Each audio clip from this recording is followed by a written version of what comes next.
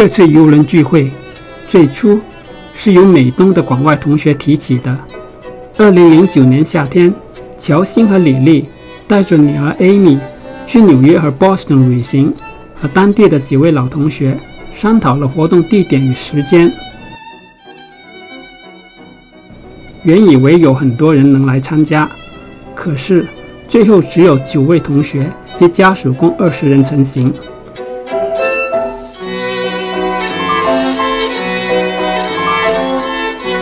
令人感到欣喜的是，王殿一与女儿 Winnie 竟能特地从上海飞来相聚。等旅行结束后，又马上飞回去了。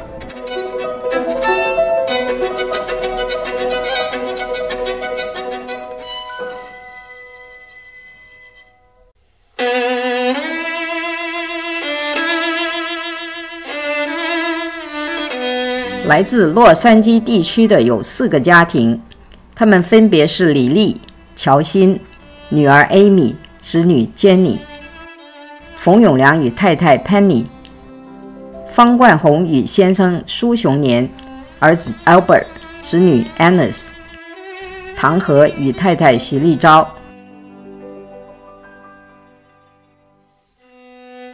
六月二十五日下午。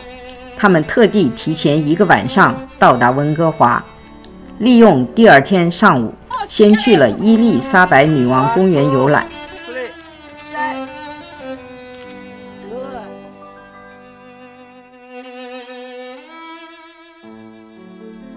然后到钟文辉漂亮的住宅探访。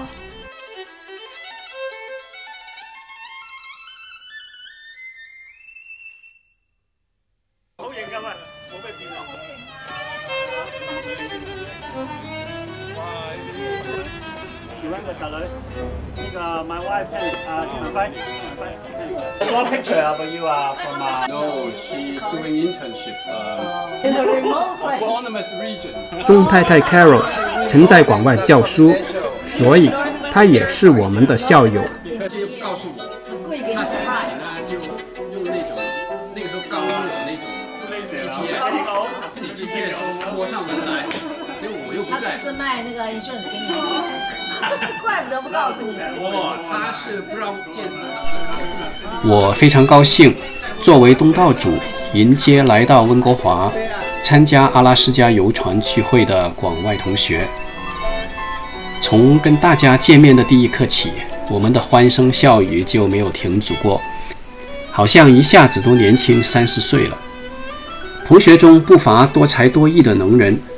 唱歌跳舞不在话下，光是摄影录像我就学到不少技巧。OK，a y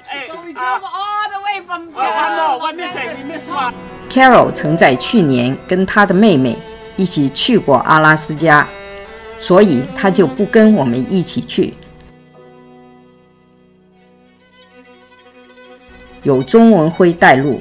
我们参观了著名的温哥华唐人街和史丹利公园。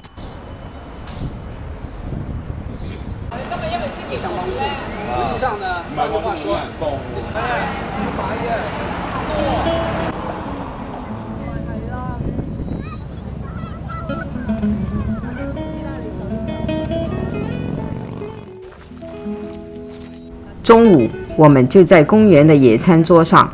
吃着钟文辉给我们准备的午餐，他跟他朋友一起做的那些点心和鸡腿，真是美味极了。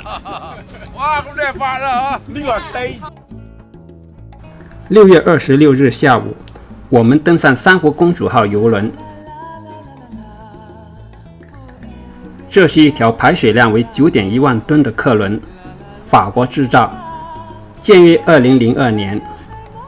最大载客量为两千三百六十八人，船上的工作人员达九百三十人。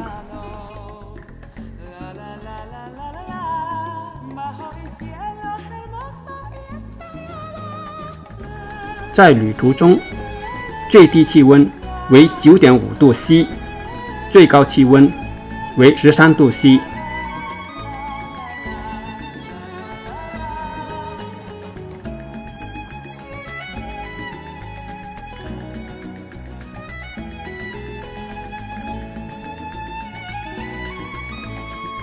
在船上，我们见到了来自 Florida 的张少燕与儿子 Roger，还有来自旧金山的黄一和以及先生 Dudley 女儿 Tiffany。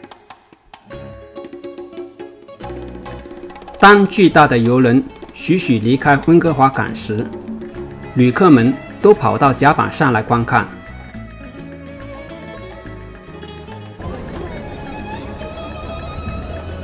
前方。就是我们早上才去过的斯丹利公园，在那山顶的瞭望台上，可以俯视这条连接温哥华城中心与北岸的狮门大桥。在这时候，大桥犹如一把上方宝剑，威武地悬挂在巨人的前方，似乎想逼退我们，但大船正以它势不可挡的力量，勇猛地向前推进。慢慢的，就逼得更近了，像是一座巨型金刚迎面扑来。可是大船不慌不乱，一个躲闪，便轻快地折头而过。当大船的桅杆从船底下穿过时，甲板上响起了一阵热烈的欢呼、鼓掌声。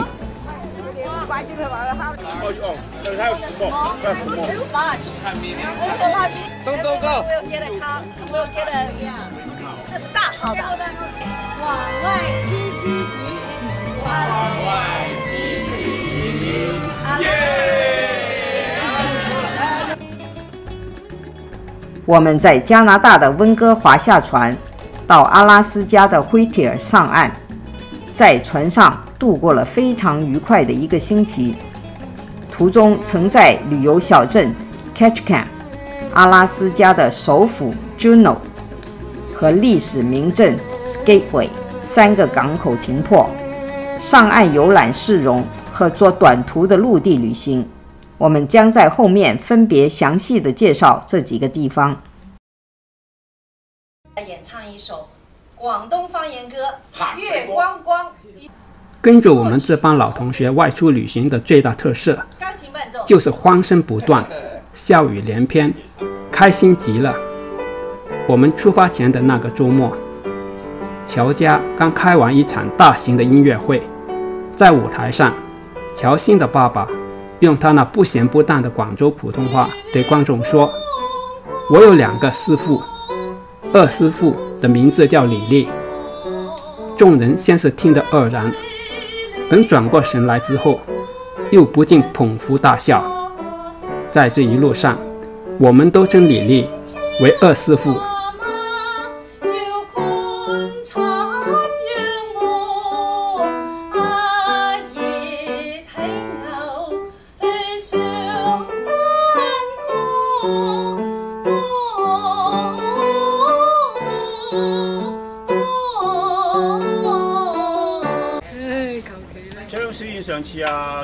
Penny 小时候是在广州的军区大院里长大的，他的广州话不太灵光，将同在梅花村里住过的小叔称为村长，这又让我们笑话了好多天，从此就叫小叔为村长。